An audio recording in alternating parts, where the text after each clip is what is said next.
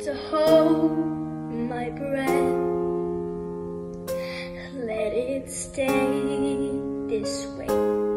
Can't let this moment end. Take